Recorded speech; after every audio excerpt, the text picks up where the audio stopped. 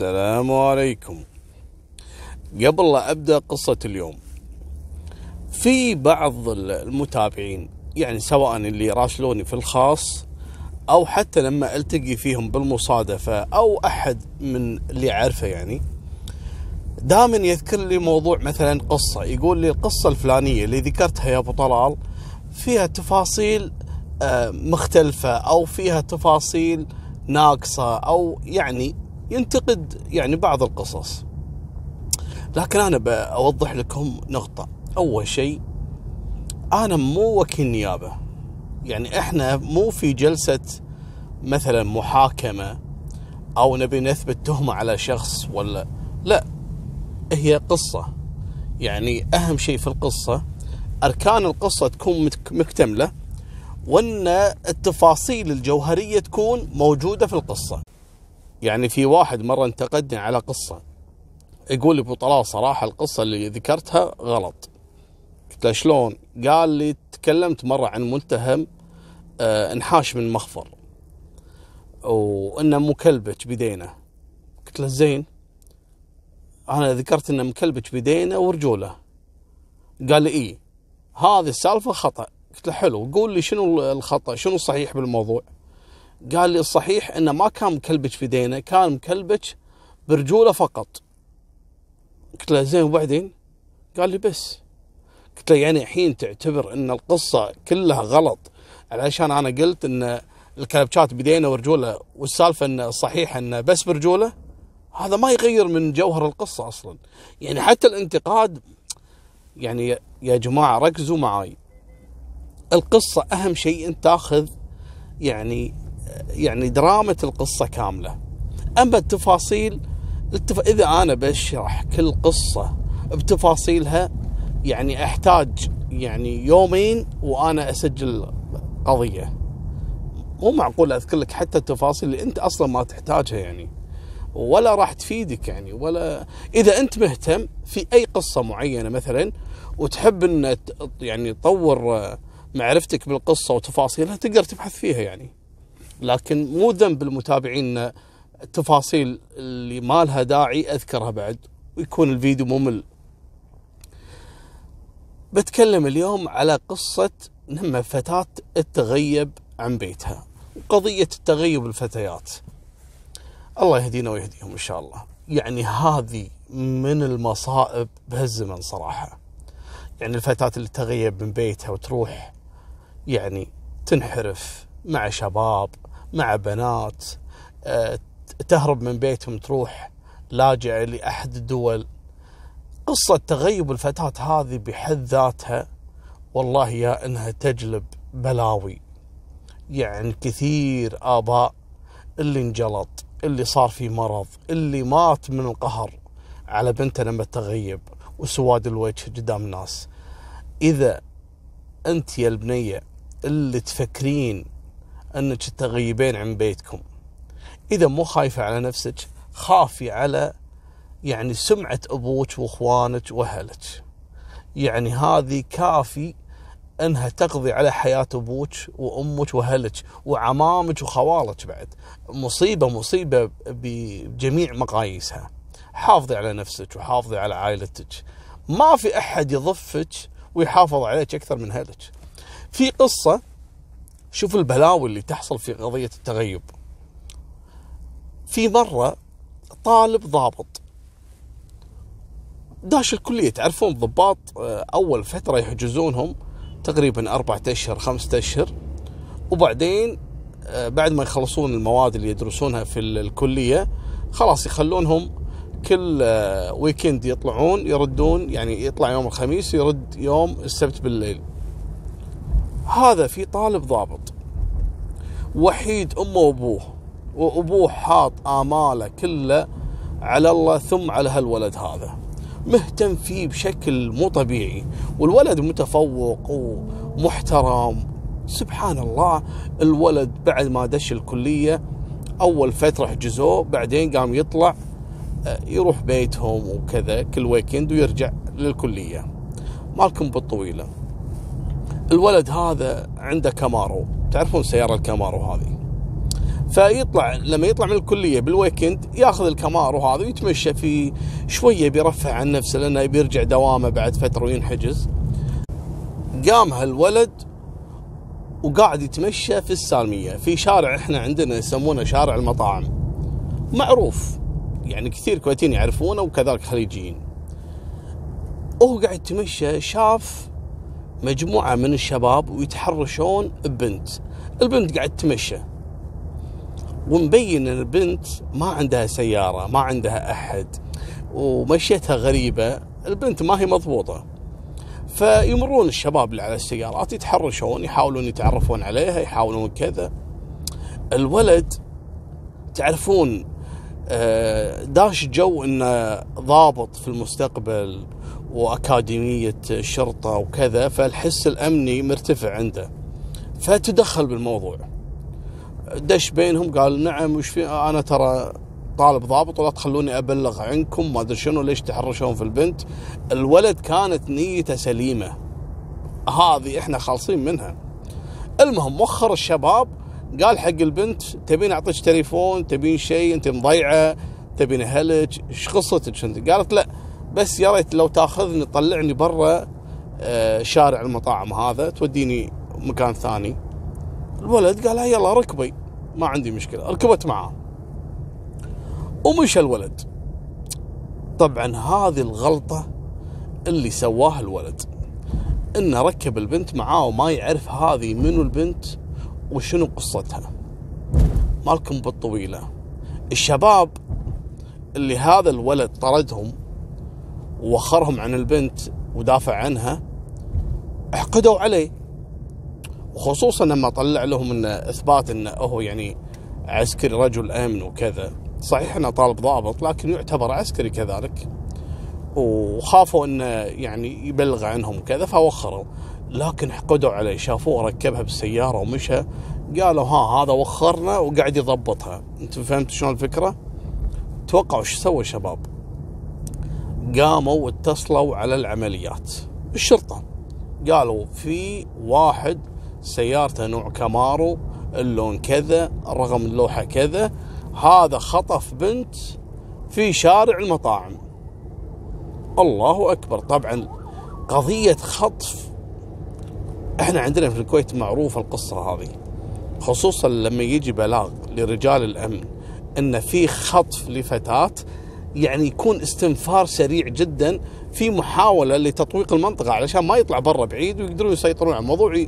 يعني يفكون اسر هالبنت لما يجيهم بلاغ خطف وهذا اللي حصل مع صاحبنا. على طول استنفروا رجال دوريات محافظة الأحمدي وطوقوا منطقة السالمية بالكامل. الولد ما مداه إنه يوصل برا المنطقة إلا موقفين الدوريات. وقف وقف. نزلوه كلبشوه وقطوه بالدوريه لحظة خليني أفهمكم القصة. قالوا له حبيبي تفهمنا القصة وين؟ في المخفر. أخذوا الولد وأخذوا معاه البنت. ودوهم المخفر امسكوا البنت. إيش فيك؟ عسى ما شر. شنو قصتك؟ ها لا ما في شيء. أعطينا إثباتك. ولا البنت مسجل عليها قضية تغيب. قالوا له وين كنتي؟ وكذا. دائما البنت اللي تغيب عن أهلها هذه لا تستبعد منها أي شيء. ممكن توديك بستين داهية وهذا اللي سوته مع الولد الصغير اللي يبي يساعدها. قالت أنا كنت عايشة عندها الولد هذا. شلون عايشة عند الولد؟ قالت هو اللي ماخذني. شلون ماخذك؟ قالت اي هو اللي مأخذني وخاطفني غصبا علي. الولد راح بشربة مي الولد قالوا له ليش خاطف البنت؟ قال لا والله لا خاطفها ولا شيء. والموضوع كذا كذا كذا وأنا شفتها بالشارع وحاولت أساعدها و... قالوا له حبيبي البنت متغيبة وقاصر وتقول إنك خاطفها. قعد يبكي الولد. اتصل على أبوه وجاء أبوه يبكي. أبوه قال له يا يبا شلون شلون أنت؟ يعني يطوف عليك شيء مثل هذا. بنت متغيبة وقاصر مركبها معاك بالسيارة. أهلها يدورون عليها. المصيبة بالموضوع شنو؟ دروا أهلها أن تم إلقاء القبض على بنتهم المتغيبة. جاك أبوها وإخوانها وعمامها وخوالها يبي يذبحون البنت. ويبي يذبحون الولد. الحين من بيصدق الولد هذا؟ بدأ مشت القضية وتبهذل الولد الضابط تمسخر آخر مسخرة وتغيب عن الكلية وفصلوه عن الكلية وتحريات وحولوه النيابة والنيابة يعني قدرت يعني بعد تحريات المباحث اثبتت إن الولد هذا فعلا كان في الكلية. وجابوا كشف إنه كان ينداوم في الكلية. وإن كلامها غير صحيح لأن البنت كانت متغيبة أكثر من شهرين ثلاثة. فشلون يعني آه، كان خاطفها المدة هذه كلها؟ البنت رجع إيش قالت لهم؟ يوم سألوا البنت قالوا لها شلون تقولين إنه خاطفك وأنت متغيبة أكثر من شهرين ثلاثة؟ والولد أثبت إنه فعلا كان في الكلية محجوز. قالت صحيح. أنا كنت مخطوفة عند واحد ثاني وبعدين لما قطني في بشارع المطاعم كنت موعده هذا إنه يجيني الوقت الفلاني اليوم الفلاني ياخذني. مالكم بالطويلة البنت بنت كلب زين حشا من يسمع أه تبي تورط الولد بأي طريقة. قام أبوه يترجى وكذا. تدون الولد علشان بس يتنازلون أهل البنت طلعوا كذلك. حشاكم ناس واطية.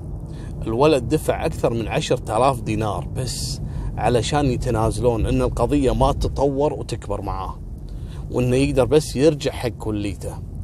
وفعلا تم التنازل وراحوا جابوا له مليون واسطة عشان يردون الكلية ما نفع لأن الولد كان مسجل عليه قضية خطف وخطف قاصر. الولد تدمر بس الله فكه من هالقضية. وهذا اللي حصل معاه بسبة بنت متغيبة أنا عارف عبالكم ان القصة انتهت. لا أنا أصلا القصة ما بديت فيها للحين.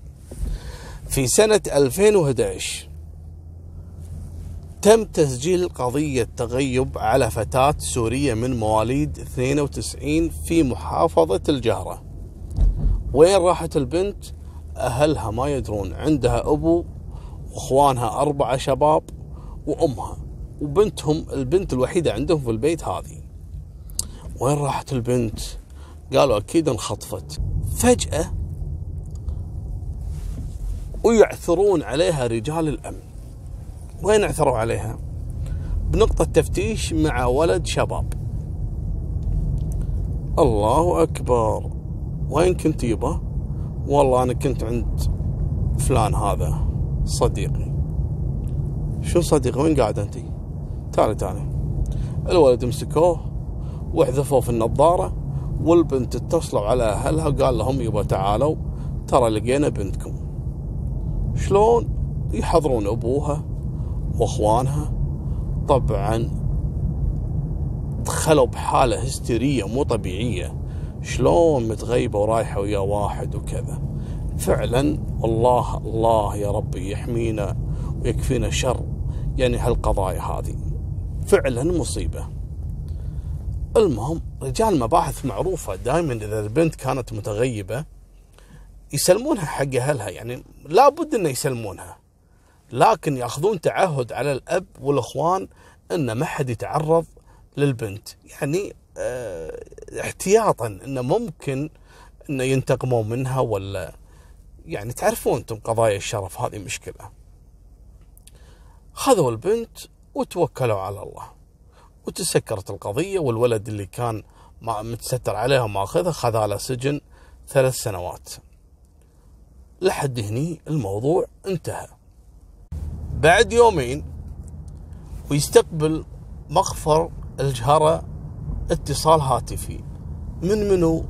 من أم الفتاة. ألو مرحبا. كيفكن؟ هلا حياك الله. تفضلي. أه والله أنا بدي أسأل عن بنتي فلانة. منو فلانة؟ بنتي كان عليها قضية تغيب وما عثرتوا عليها للحين. رجل أمن انصدم لما شيك ولا هذه البنت اللي قبل يومين مسلمينها حق أبوها وإخوانها. فقال لها من أنت؟ قالت أنا أم البنت. قال لها البنت ما رجعت البيت للحين؟ قالت لا ما رجعت. وأنا بنتظر يعني أنتم مو عثرتوا عليها ولا لا؟ قال لها خلاص أعطينا رقم تليفونك وإحنا نتصل عليك مرة ثانية. ما حب إنه يبلغها بالتفاصيل لأنه شك في الموضوع. وهذا ترى حنكة وفطنة رجال الأمن. في بعض رجال الأمن ما يطوفه شيء. ولكن في بعض رجال الأمن لو يشوف يعني جريمة قتل قدام عينه على باله غشبره يمشي يهدم يمشي صراحة أقول لكم يعني سبحان الله بشر. في واحد ذكي وفي واحد غبي. لكن هذا رجل الأمن كان ذهين. على طول فهم السالفة قال الام ما تدري إن إحنا سلمنا البنت حق أبوها وأخوانها اذا في شيء غلط في الموضوع. قال لها خلاص أنا راح أبلغك في الموضوع اعطينا رقم تليفونك. يلا مع السلامة مع السلامة. قام اتصل في المباحث اللي عنده في المخفر يبا الأم أم البنت ما تدري إن البنت إحنا سلمناها لأبوها وإخوانها قبل يومين. فالبنت وين راحت؟ شيكوا عليها. قالوا متأكد؟ قال لي نعم وهذا رقم تليفون الأم. رجال المباحث على طول اتصلوا على الأب والأخوان الأربعة. حياكم مرونا المخفر نبيكم موضوع. شو في شيء لا ما في شيء بس هذه إجراءات روتينية إحنا آه قاعد ننفذها يعني. بس ممكن تمرون علينا شوي. قال أوكي. حضروا المخفر امسكوا الأب. قال له يا حجي البنت اللي إحنا سلمناك إياها قبل يومين وينها؟ قال هربت. كيف؟ شلون هربت حبيبي؟ قال هربت أول ما خذيتها عشان أوديها البيت. هربت من من البيت ما رضت تدخل وهربت وما قدرنا نلحقها. المباحث على طول قالوا حبيبي أنت يعني تكلم بشيء واقع يعني شيء يصدق العقل. بنتك صار لها متغيبة كم شهر ولما نسلمك إياها وأنت جيت معصب وكتبناك على تعهد. ولما توصل البيت هربت بهالسهولة هذه لا ما تدش المخ. البنت وين يا حبيبي؟ قالوا والله ما أدري. يا الشباب الاربع أنتم وين البنت؟ قالوا ما ما ندري. أبوي وصلها البيت وانحاشت منه. أول ما حاولت انها تدخل البيت انحاشت منه. وأبوي رجال كبير ما يقدر يركض وراها. قالوا أوكي شرفونا على النظارة. خلكم بالنظارة. قاموا اتصلوا على الأم تعالي المخفر أحضرت الأم. وين بنتك؟ قالت ابدا ولا قالوا لي إن استلموا البنت ولا قالوا لي إن البنت أصلا أحد لقاها بعد ما سجلنا عليها قضية تغيب. آه امسكوا الأب مرة ثانية. الحين إحنا لما سلمناك البنت وأنت تقول إنها هربت. ليش ما بلغت أم البنت أن إحنا عثرنا على البنت مو هي أمها. ليش ما قلت لها أن انحاشت كذلك؟ هذا دليل على أن أنت مخبي البنت كذلك عن أمها. البنت وين؟ تكلم. قال ما أدري. اضغطوا عليه مني منك حس انه خلاص المباحث عارفين انه وراء اختفاء البنية. قال لهم يبا ولدي فلان هو اللي خذ البنت وأنا ما أدري عنها. قطها براس الولد امسكوا الولد. قالوا له أبوك اعترف عليك. قال إنك أنت اللي خذيت البنت. وين وديتها؟ الولد على طول عمره 26 سنة بطل جربة. قال يبا أنا غسلت عاري. بعد ما سلمتونا إياها أخذتها على طول. أنا وأبوي وإخواني الثلاثة. أنا على طول أبوي أول شيء اعتدى عليها بالضرب بالسيارة. وأنا على طول نطيت ومسكتها من رقبتها وخنقتها لين فارغت الحياة. وما بلغنا أمي في الموضوع رحت البيت وأخذنا بطانية الغطاء هذا ولفيناها في الغطاء وديناها إلى بر السالمي ودفناها هناك. وأرشد رجال الأمن عن مكان اللي دفن فيه الجثة وفعلا تم استخراج الجثة وإحالتها للطب الشرعي وتبين إن البنت تعرضت لكدمات يعني ضرب في الوجه وفي الجسد وبعدين إلى آثار خنق في الرقبة وفارقت الحياة على هذا الأساس. وتم تسجيل قضية القتل هذه. طبعا آه تم تبرئة الأب لكن أخو البنت انحكم 15 سنة وإخوانها الثانيين كل واحد خذ له ثلاث سنوات للمشاركة مع بعد تنفيذ حكم من السجن يتم إبعادهم عن البلاد. هذه نهاية سالفتنا وإن شاء الله في سالفة قادمة. وفي أمان الله مع السلامة.